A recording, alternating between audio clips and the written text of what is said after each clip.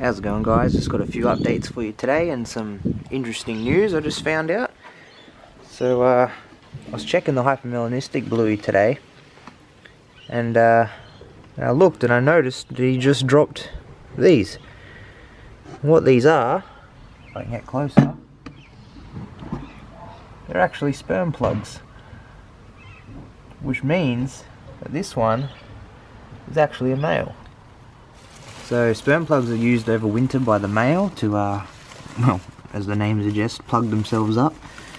And then in the springtime, when the weather warms back up, they come out of brumation, they uh, pop them out, and yeah, they're usually good to start breeding.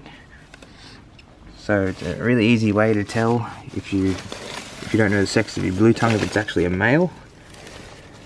So uh, yeah, it's pretty damn cool.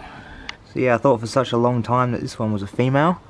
Because it had like a big chunky body, a sort of slim head. The head was sort of a bit big though, that was sort of a giveaway I guess. But um, it was more of a slim looking head and the tail wasn't extremely long as far as I could tell.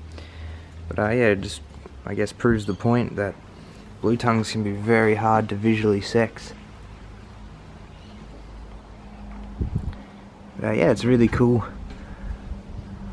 Bit of news to find out today, and I guess I'll be putting this one with some females now instead of males. Everything is going pretty good. All the blueys are starting to wake up from brumation because the weather's warming up. Blotchies have been out for a while, so they're doing good. And yeah, the easterns should start breeding soon, hopefully. But yeah, everything's going good.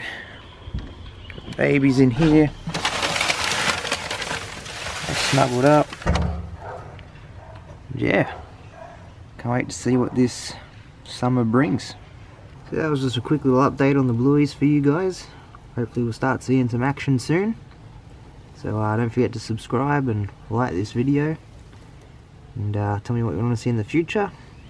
So hope you guys have enjoyed and uh, I'll see you next time.